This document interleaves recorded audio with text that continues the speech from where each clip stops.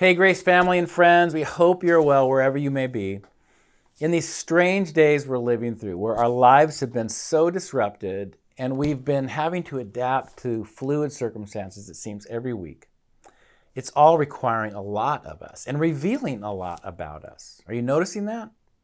But as the people of God, the one thing that is not changing, the thing that we can hold on to, is the security we have in our loving, sovereign Lord who is in charge and at work in and around us. Unfortunately, sometimes we have a hard time seeing things from that perspective. We can't, as they say, see the forest for the trees. Well, today we're going to attend to that issue. It's September 6th, Labor Day weekend, a time that typically represents for us the transition from summer to fall.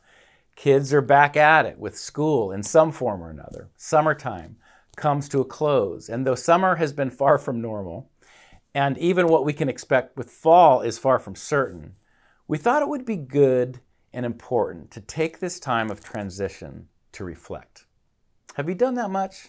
In the midst of all the upheaval, all the change, in light of all that has been taken away from many of us, the risk is that we become consumed with the negative, with what's all wrong, or with all the things we don't like or we're upset at. But if that's what dominates our thought life, then we're missing some really important insights. Last week, we finished our series on the one another's, and next week, we're so excited to be able to start gathering in person in a larger group context on our patio and with a brand new series to explore together.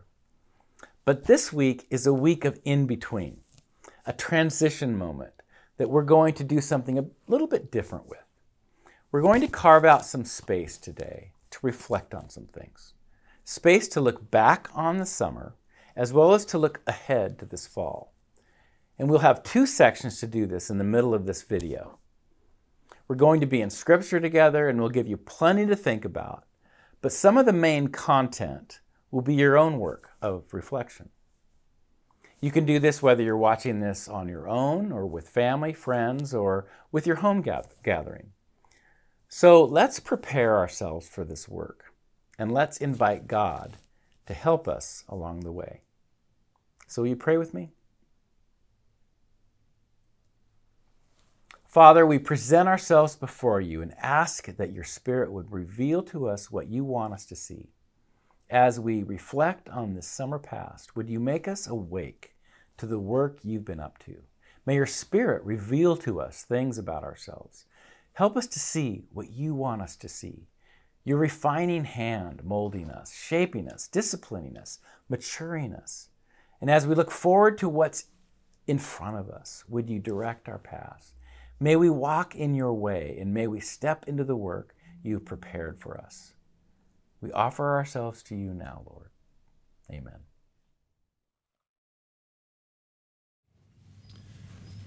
Let's spend some time together now worshiping God through song. He is faithful. He is faithful through all seasons. He is a God who is good every day. And we move, but He is stable and He is steady. So let's bring ourselves before Him now and worship that stable and consistent and faithful God. When peace like a river attendeth my way when sorrows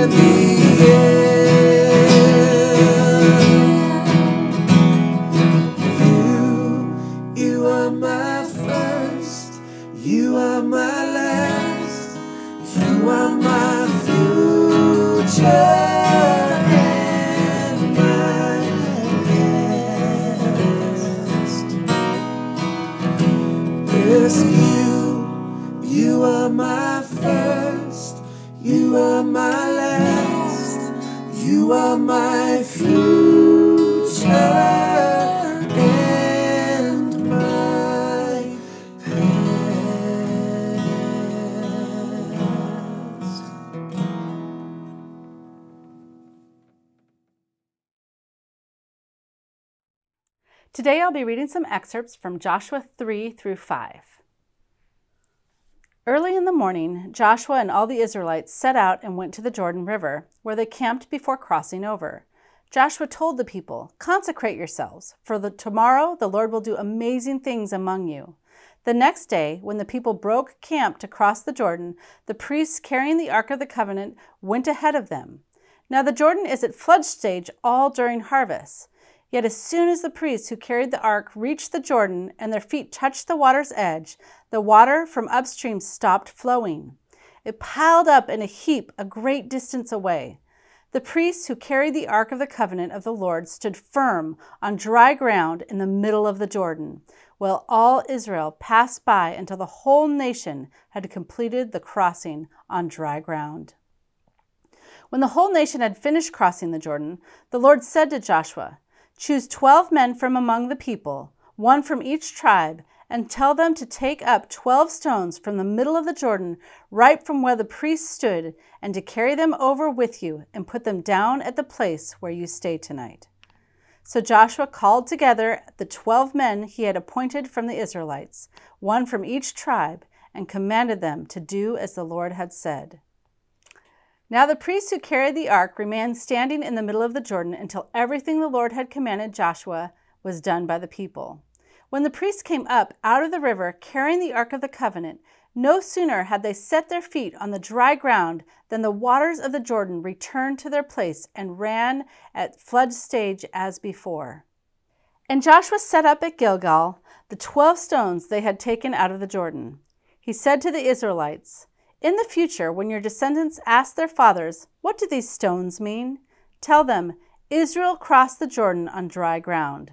For the Lord your God dried up the Jordan before you until you had crossed the river.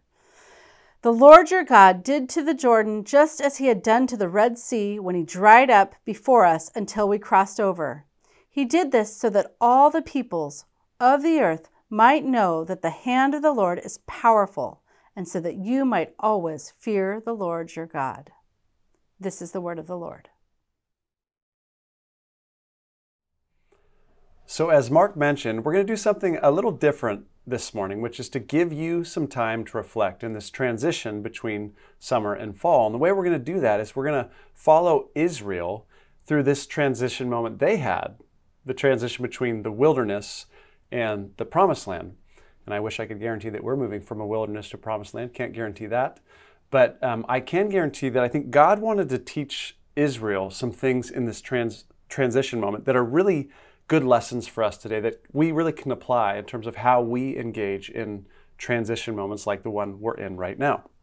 So there's two moments that I want to look at today, and the first is the one that we just heard Christina read uh, this experience of God telling Israel to take these 12 stones and set up a memorial as they passed through the Jordan River. So, a little context for you. This, of course, is after 40 years of wandering in the wilderness. And they have been wandering around and they've just come up to the eastern side of the Jordan River.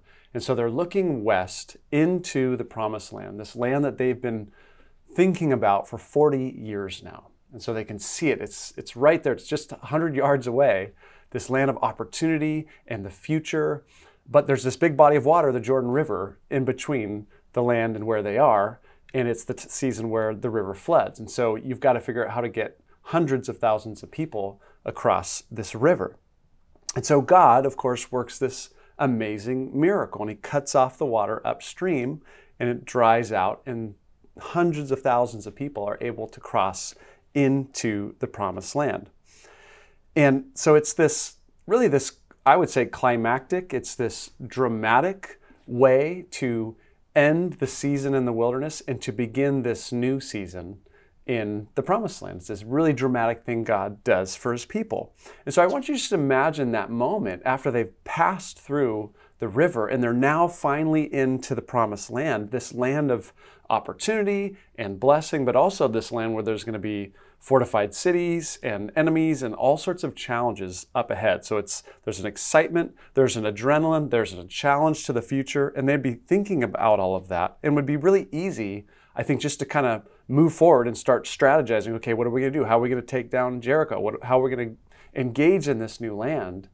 And I love what God has them do in the midst of that moment. He says, No, I want you to just stop. I want you to pause. I want you to celebrate. I want you to look back and remember what I've done. I don't want you to strategize yet. I don't want you to plan yet. I just want you to stop and remember. And so he commands them to take these 12 stones, one from each tribe, out from the dry riverbed now that's dry, that they've just come from, and set it up as a memorial, as a, as a way of remembering the work that he had just done in getting them through the river. And as I see it, those 12 stones don't just represent the miracle of drying up the Jordan. I think they represent for Israel really God's faithfulness through that whole 40 years in the wilderness. That it would remind them of that whole stage of their existence. And as they looked back on that 40 years, they would remember, I think, two things. First, of course, they would remember wilderness, meaning they would remember challenge and, and trial and hardship and suffering and testing and even futility at times. They remember all of that, but they would also remember the second thing God's faithfulness. God's faithfulness to protect them those 40 years, to provide for them, to guide them, to lead them, to, to do everything that needed to be done so that they could finally arrive at the promised land. And God's faithfulness didn't take away the challenges, right? It didn't, didn't make those easy. It didn't make the wilderness a fun time. But He proved Himself to be faithful through every twist and turn of the road. So those 40 years were both a very humbling time, but also a faith producing time.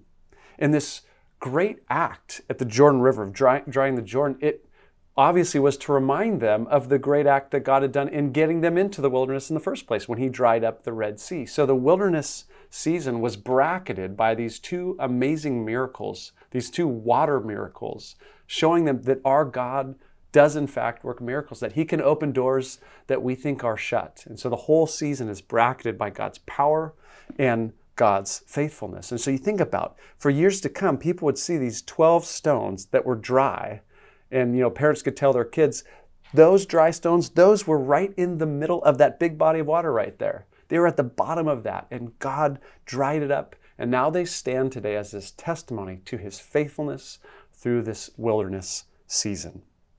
And really, I think that's what they needed to be reminded of most as they're entering into the promised land. They actually didn't need a strategy, they didn't need a plan, they didn't need some solutions for how they're going to go about that. What they needed in the end, I think, was actually faith. They needed to know God is going to be with us. God is going to fight our battles for us. We can trust Him in this new place. And, and this is what Joshua actually mentions mentions in this passage, it'll sound funny, but what they needed was fear. They needed to fear the Lord. They needed to fear the Lord more than the nations that lived in, in the promised land or any other thing that was going to happen. They needed to reverence the Lord. They needed to know the Lord is powerful. The Lord works miracles. We need to fear him. We need to stay close to him. They needed faith and they needed fear. And so God gave them this wonderful miracle, and then He gave them a way of remembering that through these 12 stones a way to focus faith and fear, because that's what they would need for the journey ahead. And so I, I think that's something that's good for us to do in transition moments. It's it's to before we just start strategizing and planning for what, what's ahead, it's to actually stop and reflect and remember. It's to set up our own memorial stones, so to speak to remember the challenges of the past season, but more than that, to remember God's faithfulness through it. And here's the truth for Israel there were challenges in the past, and there were going to be challenges in the future. But what was consistent was God's faithfulness. And that will always be true of us this side of eternity, right? We're going to look back on the summer. There were challenges. We can look ahead to the fall. There's going to be challenges there too. But what is consistent is God's faithfulness. So we want to take some time right now just to reflect on this past season, to look back, to set up a memorial stone and remember God's faithfulness. So, Mark is going to lead us into a time of reflection. So, let's now take some time to reflect on this past summer. The whole idea of those stones of remembrance draws on a theme that runs throughout Scripture. Scripture regularly calls us to remember, and it regularly warns of the dangers of forgetting. So, as we transition into a new season, we want to take time right now to give you the space to do this, to remember. For many of us, the summer has felt like a wilderness season, disorienting, unsettling. And yet, as we look back and remember, we can also see moments of God's faithfulness and provision. So let's take some time to reflect. We're going to put a question on the screen for you to consider. And if you're alone, I encourage you to get out a journal and prayerfully write down your answers as a time of reflection with the Lord. And if you are family or friends, or if you're with your home gathering, take some time to reflect and discuss this together. As the question comes on the screen, hit the pause button and give yourself whatever time you need to do this before continuing.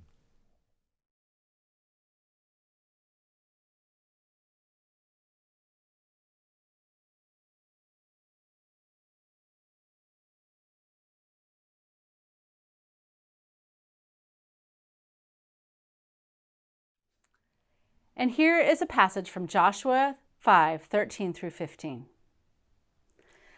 Now, when Joshua was near Jericho, he looked up and saw a man standing in front of him with a drawn sword in his hand. Joshua went up to him and asked, Are you for us or for our enemies? Neither, he replied, but as commander of the army of the Lord, I have now come. Then Joshua fell face down to the ground in reverence and asked him, what message does my Lord have for his servant? The commander of the Lord's army replied, Take off your sandals, for the place where you are standing is holy. And Joshua did so. This is the word of the Lord. So, our first reading was about looking back, and now we're going to look at this reading, which is about looking forward. And the context for this short passage is you have Joshua now, and he's this new leader of Israel. And our passage says that he's near Jericho. And Jericho is the first major fortified city that the Israelites would come across in the promised land.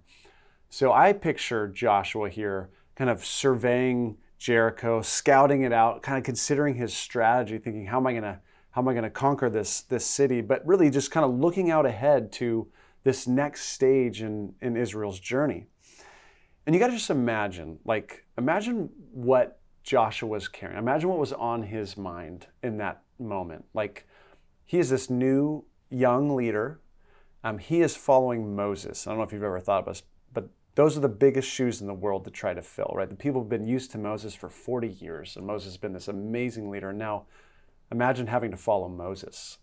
And he looks into the future, and all he sees is fortified city after fortified city, battle after battle, challenges, fears, trying to lead a people. He's never done this before. All that to say, he is, I imagine he feels like he's carrying the weight of the world on his shoulders. And in the midst of that, he has this really short but really profound encounter with this mysterious figure that I think really shapes his perspective and changes his perspective about how he thinks about the journey ahead. So what happens is, is he looks up and he sees this man, it says, with a drawn sword. And I imagine he's startled. And in the moment, Joshua's just assuming this is just a man, right? He's some, some soldier. He's dressed like a soldier and he's wondering who he is. Now we're going to find out in a second. This is no ordinary human being. This is probably some angelic spiritual creature who's identified as the commander of the Lord's army. But Joshua doesn't know any of that. He just sees this person. And so he asks the question in our passage in verse 13 Are you for us or for our enemies. Meaning, whose side are you on? Are you on our side or are you on their side? I, I need to know that in this moment. And I love the angel's answer. Verse 14, my translation says the angel, angel replies by saying, Neither. Now, literally in the Hebrew, he just says no. are you for us or for our enemies? The answer is no no to your side, no to your enemy's side. Really, no to the question, I think. It's you're not asking the right question. You're asking the wrong question. I am the commander of the Lord's army. And that is not about your side or about their side. I am on the Lord's side, I think is how this, this figure answers Joshua. Meaning, this is a lot bigger than choosing sides between the Israelites and the Canaanites. And here's what I think is going on in this encounter I, I think God is shifting Joshua's perspective and, and reminding him in this really profound way about this. Joshua, you think you have a battle to fight. You think you have lots of battles to fight, and you're hoping that I'm going to be on your side. You're hoping I'm going to come to your aid in those battles. And of course, I will. But the truth is, God's speaking to Joshua, actually, these aren't your battles to fight. These are my battles to fight. This is about my plans and purposes in the world, not yours. It's not about me being on your side. And I am going to use you. I'm going to fight these battles through you. So, yes, I will be with you, but the battles belong to me. The plans and purposes are mine, not yours. And if any of you have ever read what happens at the Battle of Jericho and how it goes down, you know that God used that first battle as this profound object lesson to Joshua that indeed the battle belongs to the Lord.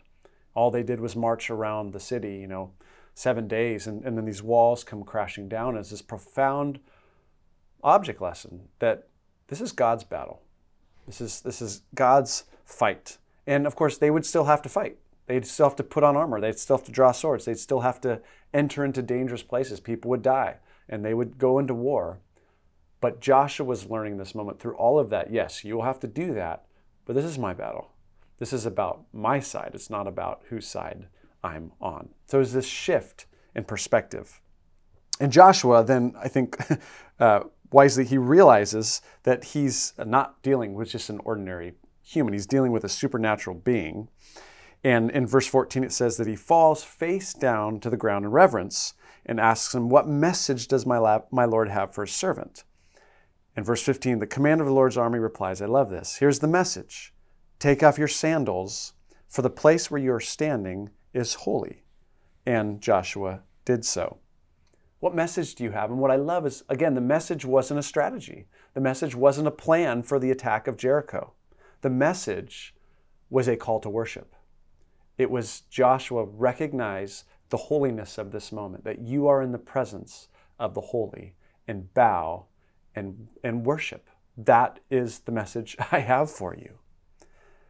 Before you fight, before you draw plans, before you strategize, worship, submit, acknowledge that I am the God who is in control and I am holy. And what I love about that, of course, is that encounter reminds us of the encounter that Moses first had when he came to leadership at the burning bush. God said the same thing, right? Take off your sandals because you're in the presence of the holy. And so now Joshua is getting that same kind of experience. And I think, you know, what an encouragement that encounter must have been for Joshua. I mean, this young leader who had the weight of the world on his shoulders. And to, to learn in this moment, hey, you are not carrying this burden on your own. In fact, this isn't even your burden to carry. This isn't your battle to fight. This is God's battle. He's going to fight it through you, but God is with you. God is accomplishing his, his purposes. That's a much bigger perspective than Joshua had before. And I think it was ultimately an encouraging and an empowering perspective. Filled him with faith. And so for us, again, as, as we enter into a new season, into the fall, and as we just consider transitions like this, uh, I think it's, of course, it's appropriate to, to plan and to strategize and to think creatively about what we want to see happen. And many of you have already done that in this past week or two. I'm, I, am i am sure you've thought about the fall and, and you are in full plan, strategize, and go mode. And that's all, it's appropriate. But I, I want to remind us that it is most important before our plans and strategies, it's most important to pause and to worship and to acknowledge the presence of our God and to remember the bigger perspective, which is that this is His battle and these are His plans and purposes that are to come to fruition. And so we want to surrender ourselves to Him because ultimately it's about Him, it's not about us. So again, Mark is now going to lead us into a time of reflection as we look forward to the fall. And, and we want to consider the hopes and plans we have, but we also want to just offer this fall to the Lord in prayer. So, as we've just considered Joshua's experience as he was looking ahead to the future, let's look ahead and reflect on the coming fall. What's in front of you? Do you have dreams and plans underway? You know, for many of us, we have the tendency to start with what makes sense to us, our ways, our plans, our goals and desires. And in a lot of cases, we charge ahead. But sometimes we make those plans and then think, oh, I really want God to bless my plans. Like Joshua, who wanted to know if the angel was on his side. But do you see how backward that process is? Getting God's blessing is not about hoping for his favor for plans we've made apart from him. It's about stepping into his plans for you from the start, his ongoing work in the world. It's about beginning with God, seeking his heart for you, approaching him with open hands, a posture of surrender to his will, offering him your hopes and your desires, and putting them at his feet. Have your way with me, Lord. Not my will, but your will be done. What do you have for me, Father? So we'll put another question on the screen. And again, I encourage you to hit the pause button and take the time you need to reflect on this with God or discuss with those around you. After that, we'll close with a worship song.